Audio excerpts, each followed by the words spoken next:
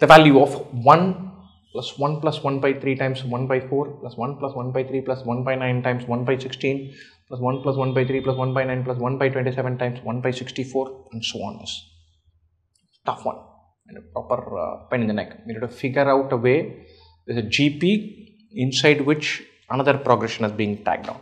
So 1 plus 1 by 3 is 4 by 3, 4 by 3 into 1 by 4, 1 by 3. 1 plus 1 by 3 plus 1 by 9, you have to figure that out, 9 plus 3 plus 1, 13 by 9 into 1 by 16. Not very friendly. I thought the numbers will get cancelled and give us some very sweet thing. That is not happening. So what am I going to do? I'm going to say, hey, I'm going to take the first terms in this sequence. Attack them first. So first terms is 1,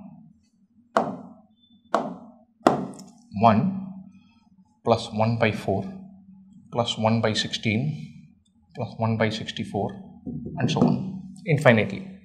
Then second term 1 by 3 into 1 by 4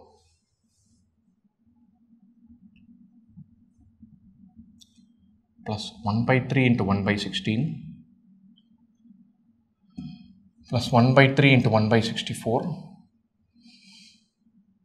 and so on. Next terms of the sequence 1 by 9 into 1 by 16 plus 1 by 9 into 1 by 64 and so on. Nice. What I'm going to do, I'm going to treat this first one that's a GP infinite GP with first term being 1 and common ratio being 1 by 4. I know how to plug this in. I'm going to think of this as sum 1, sum 2, sum 3 and so on. I'm going to first find out sum 1, not 1, sum 1.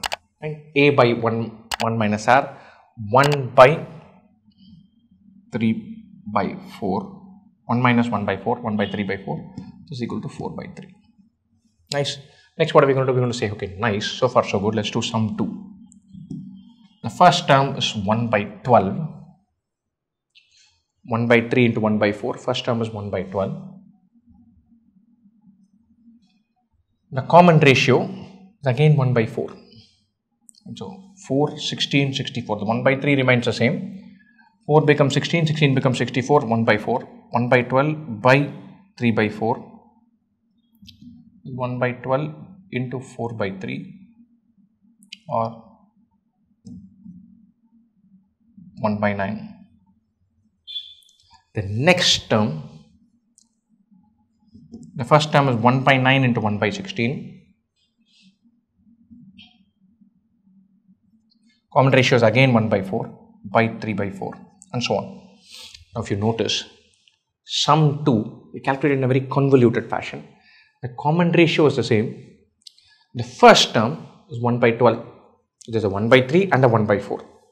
Here, the first term is this first term into 1 by 3 into 1 by 4. Or if you think about it, S1 is 4 by 3. S2 is 4 by 3 into 1 by 12. S3 is 4 by 3 into 1 by 12 into 1 by 12. This is again a geometric progression, again an infinite progression, again one with first term 4 by 3 and common ratio 1 by 12 or sum of this whole thing is 4 by 3 by 1 minus 1 by 12, 4 by 3 by 11 by 12 or 4 by 3 into 12 by 11 which is 16 by 11. Hopefully that's there among our choices. Yes, it's there as the right answer.